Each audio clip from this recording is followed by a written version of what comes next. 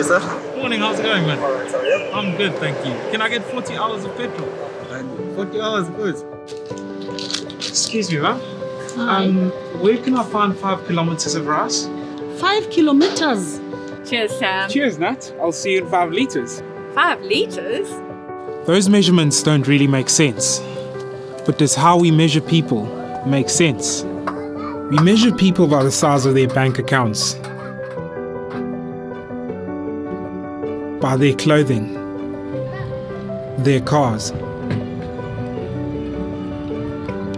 their jobs. Worth is measured by what people own and earn. Nelson Mandela saw a different measure of worth. It wasn't about what people had on the outside. He saw the inside. He saw equal worth in every human being. He gave worth. As the Bhambayi Project, our dream is not just for every orphan and vulnerable child to know their worth, but for every South African to see the true worth in each other. And as we do, we discover the worth in ourselves. Why not change your vision? umuntu ngumuntu ngabantu Let's see the worth in every person.